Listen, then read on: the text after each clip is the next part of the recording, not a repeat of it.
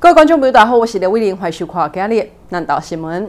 为了第三点，车点啊，土地公庙附近有一条早期时做的灌溉渠道以及区域排水沟，受到气候影响，原以为通水断面不足，影响每届只要落大雨都会容易造成水患。经过地方民意代表反映，南岛县长柯淑华特别来前往了解情况。第三顶车顶土地公庙边啊，有一条早期时做的溪排水沟，近年来受到极端气候的影响，原本的涵港已经无法度负担大量的雨水。为一百零六年到今，已经发生五届严重的淹水，互乡亲是真无奈。因为住一百零六年吼，到至今一百十二年，已经淹超过六百以上啊。上严重的阵是一百零六年，迄个大淹水，迄个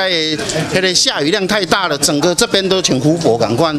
你知道？啊，过哩一百十一年的时阵有无？咱的网络新闻冇报，报咱迄个高速公路饮水加嘛淹水啊，所以已经已经那个现在的极端气候哦，那个雨量，咱以前的那个设施已经没有办法容量现在那个雨量了。嘛，因为这条排水沟临近地形巷以及内南路，拢是当地居民出入的重要道路。经过地方民意代表的反映，南岛县长柯淑华前往会勘，并同意使用两百二十五万的经费，和排水沟加深加宽，维护居民安全。啊，这麦可以说是极端的气候，雨量大小哈，我们原原先早期的设计已经不符合现在的需求规定了哈，所以啊，这排水沟的涵管确实有小块啊，所以讲常常拢会积水，啊，那积水起来是会影响到咱。啊，真济咱伫咱内底民家乡亲哈啊，所以说我们这次呢就把这个涵管的部分把它加大，那总共是两百多万的工程，我们会尽快的把它改善好，因为这嘛是咱德心里内底真真重要一个寺庙的中心，啊，佫真济乡亲出入。那许主许县长也